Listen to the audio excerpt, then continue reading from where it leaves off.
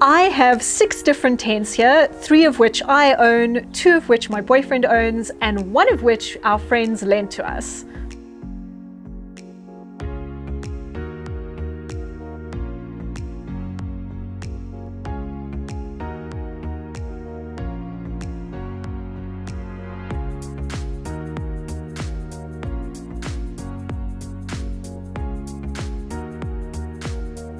There are so many different places to camp and there are so many different kinds of tents. And choosing the right tent for the place that you're going to be camping is very important. The very first question that you need to answer, of course, is what are you going to be using the tent for? Is it primarily going to be a backpacking tent or is it primarily going to be a car camping tent? By car camping, I mean that you're going to drive to a campsite and set up your tent, in which case weight and bulk is going to be far less of an issue. The next question that you're going to need to answer is when you will be using your tent. You get three season and four season tents, and if you're not going to be using your tent in winter at all, then I would recommend looking at the three season tents because they tend to be a lot cheaper. In South Africa, I should also mention that unless you're going to be climbing to the top of some mountains, then getting a four season tent might be overkill. If you do plan to be camping in really cold weather, then you definitely should look at the four season options. Four season tents tend to have fly sheets that come all the way to the ground, more solid looking inners to retain warmth, less ventilation, and more intersection of the poles of the tent and this is to allow for snow loading so that the tent can actually handle being snowed on. This is not to say that you can't use a three season tent in mountainous winter conditions. I have actually taken the Black Diamond Mirage, which is pitched just next to me, up onto the escarpment of the Drakensberg in the middle of winter when temperatures did drop below freezing although we did not have any snow, and it was actually fine. But particularly if you're a first time backpacker, I would not recommend getting a three season tent if you're routinely going to be encountering very cold conditions. Another very important consideration when you're buying a tent is how many people you're going to need to fit inside of it. My rule of thumb is to try to get a tent that is advertised as being able to sleep one additional person to the number that you're actually trying to fit in. So if you're going to be two people sleeping in the tent, try to get a three person tent. And the reason why I say this is because that will allow you a bit of extra arm and leg space and will also allow you to store the gear inside of the tent with you. If you're going to be car camping and are looking at much larger tents, then you can also think about how many rooms you want the tent to have. Is it adequate to just have one big room tent, or do you want separate rooms for you and your kids? You should also know that different tent manufacturers use different metrics for figuring out how many people can fit inside of a tent. So in addition to looking at whether it's advertised as a two-person, three-person or one-person tent, you should also look at the dimensions of the actual floor space of the tent.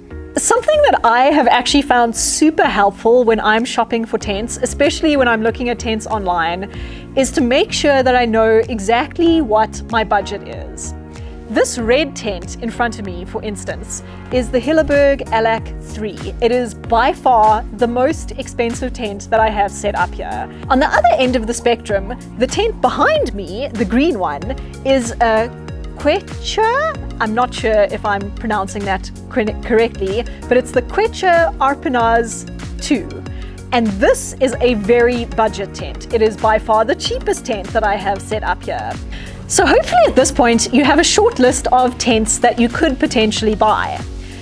What is really important is that you see all of these tents pitched this can be really problematic if you're trying to buy tents online, particularly if they're not available in your own country.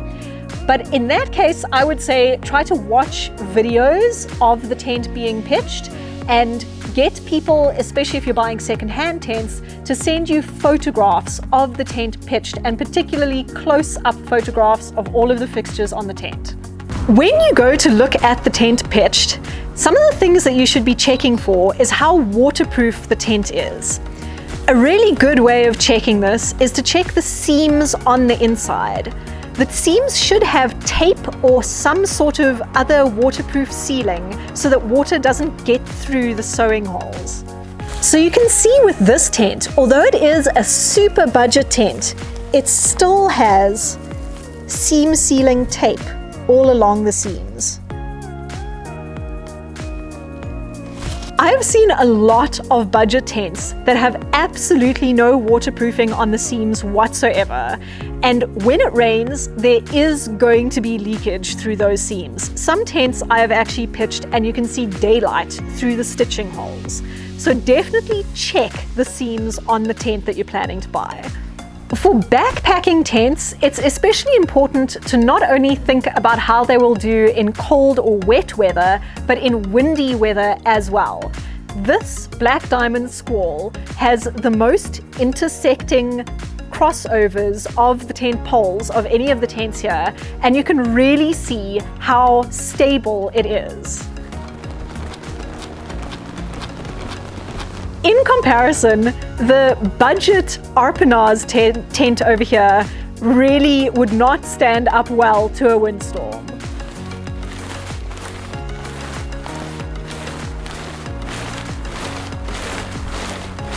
Something else that you need to check is how durable the tent material is.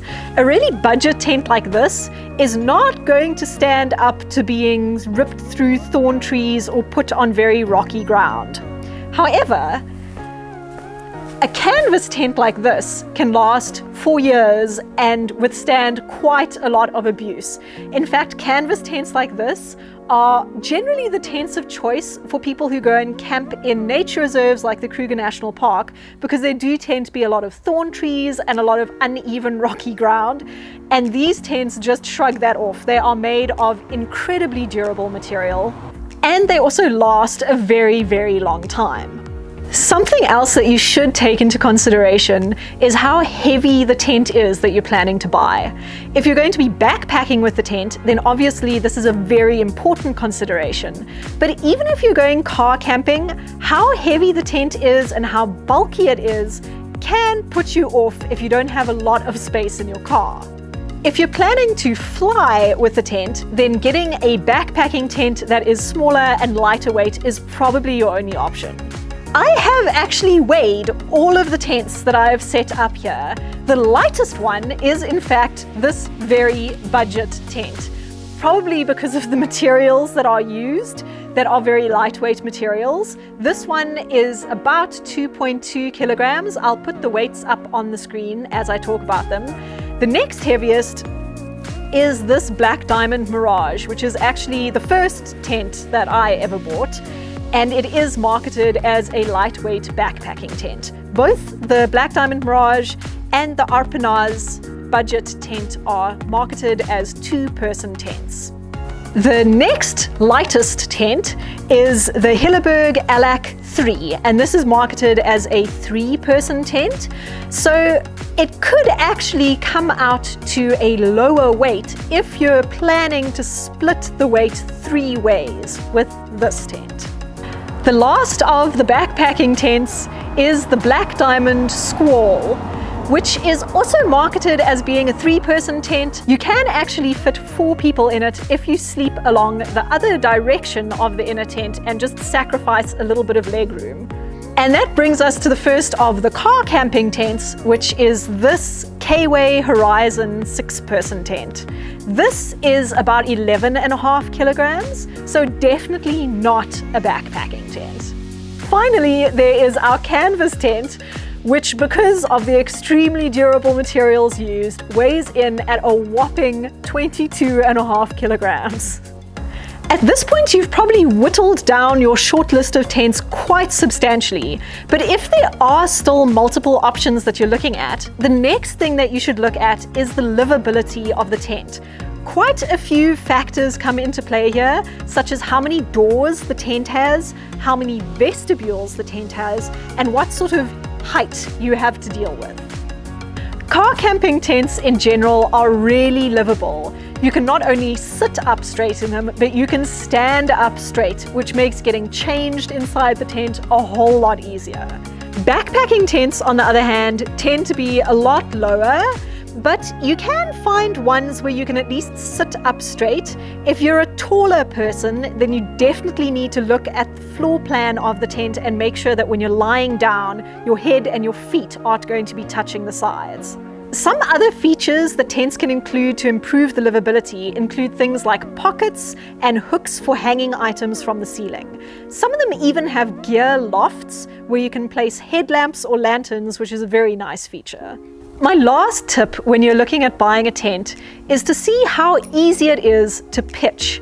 Some tents actually require two people, like this tent behind me. It would be very difficult to set this up on your own, and I know that because I have actually set this tent up on my own before. It's not impossible, but it's very difficult. This tent also takes the longest out of any of the six tents here to pitch, but it does offer a lot of space. If you have your own tips when buying a tent, then please feel free to leave them in the comments below because I am always ready to learn some new stuff too. And if you like this video, then please consider subscribing to the channel.